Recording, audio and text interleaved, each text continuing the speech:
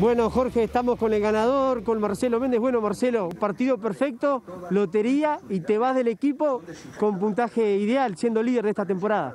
Bueno, sí, creo que hicimos un gran partido, eh, lo pudimos resolver eh, con el tercer gol ahí al inicio del segundo tiempo. Contento por, por los jugadores y bueno, eh, como es esto del fútbol, bueno, nos toca partir. ¿Cómo fueron estas últimas semanas? Porque perdiste a Federico Pereira, no tuviste al Colorado Ramírez una fecha. ¿Cómo hiciste para manejar también los casos de cuarentena de COVID? Para manejar el equipo que no se desarmara y que respondiera en la cancha.